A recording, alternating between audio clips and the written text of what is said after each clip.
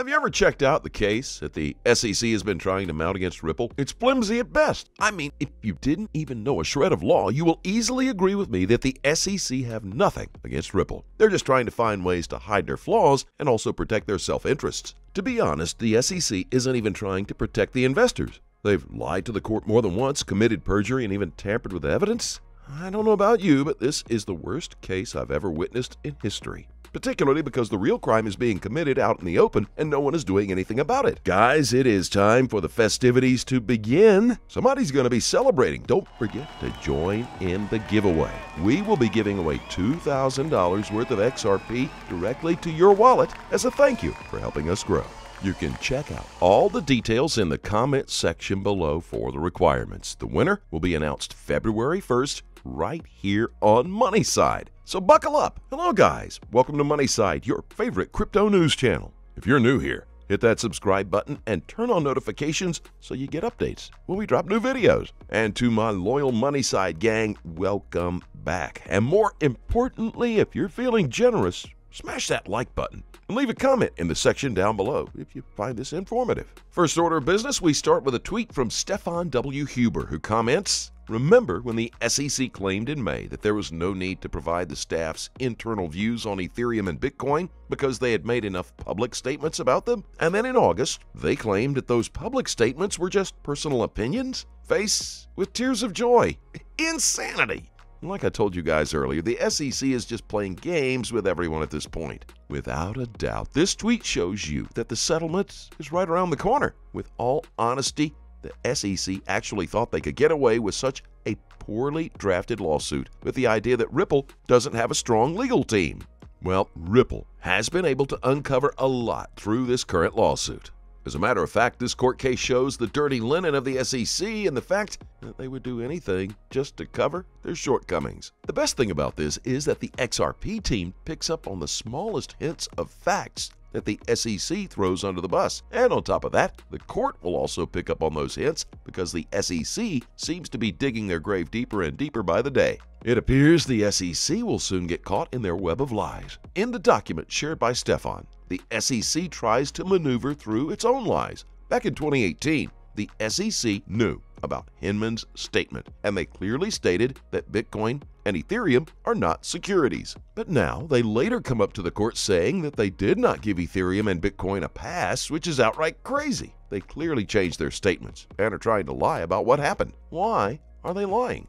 The SEC knows that this statement will hurt them because that means Ripple will be in the clear. The fact that the SEC would go to these extents to hide their statements shows that they are power hungry and are trying as much as possible to hide their tracks. The court will soon get wind of this info, and SEC will have no choice but to settle. From the start, it just so seems that this regulatory body has always had a hidden agenda. That's why the court case has been dragging on for too long. Frankly speaking, I think the SEC should compensate Ripple for all the harm they've done to the crypto company. I mean, just minutes after filing their lawsuit, XRP went tumbling down and the price of this coin has never fully recovered since then. This coin was ranked in third place behind Ethereum and Bitcoin. It sounds like a coincidence, but I think not. The SEC seems to be picking out winners and losers in the crypto space, and that is why, even before this lawsuit was filed, Ethereum and Bitcoin got a free pass. I really don't think that that's a simple coincidence. There's a high probability that the SEC has some interest in these two cryptos, or chances are Ethereum has the SEC in its back pocket.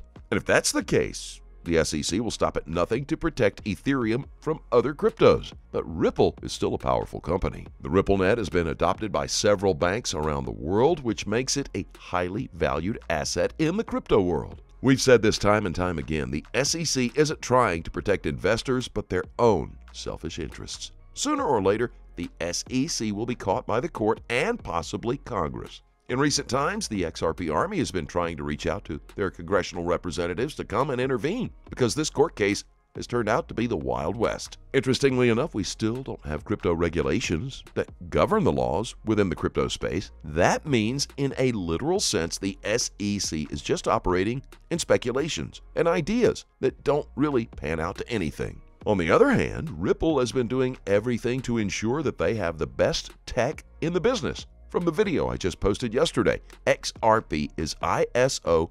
20022 compatible. That's the latest bank messaging system that will soon be adopted by all banks that use SWIFT. And when that happens, these banks will be able to use crypto into their systems, but only cryptos that are ISO 20022 compatible. XRP is one of them. So, what do you think will happen in the next few months? XRP will go straight to the moon, even if this court case doesn't end. And if it does, XRP will moon almost instantly overnight. We will be witnessing the greatest crypto bullish trend of all time when this court case ends. That said, time now to take a look at the technical analysis. Beginning with XRP, the 200 day average shows that we are at a low point, shown by the white arrows and the thick white lines.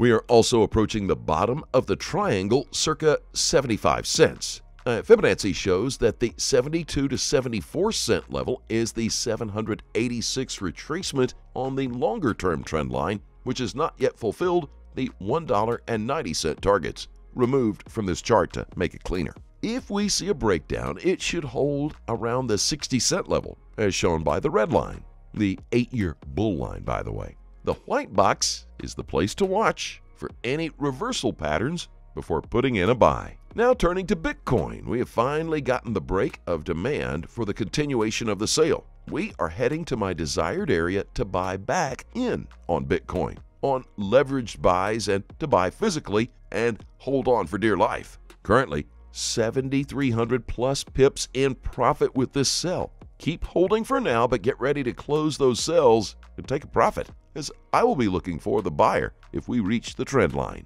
As always, do your own research and please trade safely, friends. Please keep in mind we're not a licensed financial advisor. All videos on this channel are intended for entertainment purposes only. Let us know what you think in the comment section below. Let's have a conversation. As always, we thank you so much for watching. Please don't forget to like this video and click on that subscribe button below. Then be sure to turn on notifications so you don't miss out on any of our new content. Thanks again, and we will see you on the next Money Side.